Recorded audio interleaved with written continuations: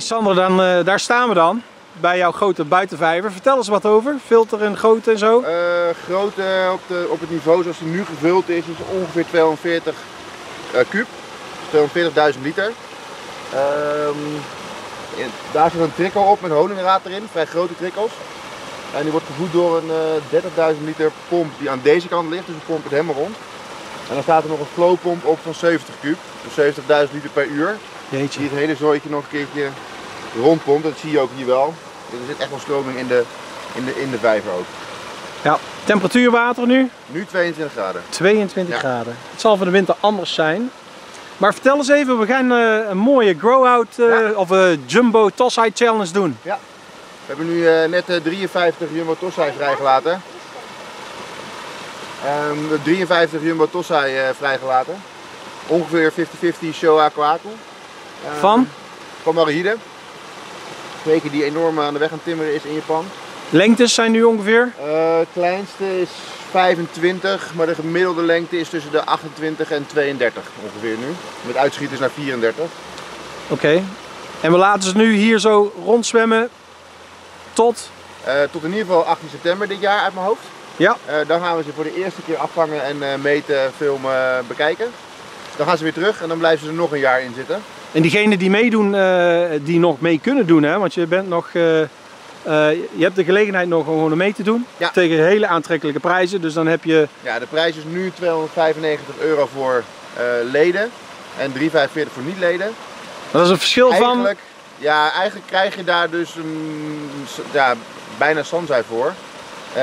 In die prijs zit alles. Dus voerwater, stroom, ehm, twee keer een dag uit mijn hoofd waar we gaan Ja. afvangen met wat eten, drinken erbij. En noem het maar op eigenlijk. Ja, Wat? en deze kooi als Nissai heb je gewoon... Wat kost die? Normaal dan? Ja, nou, bij deze kweker als ik een beetje mijn best doe tussen de 8, 800 en 1200 euro voor een, voor een Nissai bij deze kweker. Dus voor een vierde van de prijs heb je nu ja, gewoon eh, ja. zo'n vis. Ja. Mooi. En, waar, en wat voor voer gaat erop? Het goedkoopste natuurlijk. Nee, nee, nee. nee.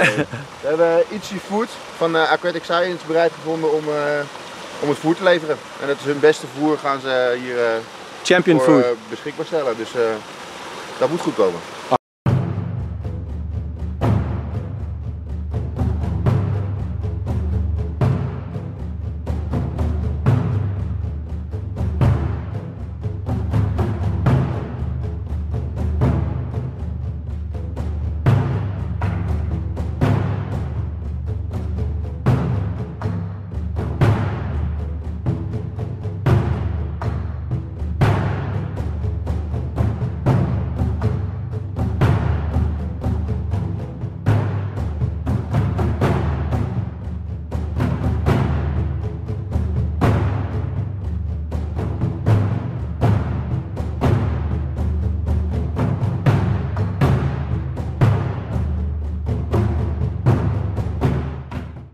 Dus eh, ik verwacht er wel wat niet- van. De vijvers zijn niet super di- diep, bewust.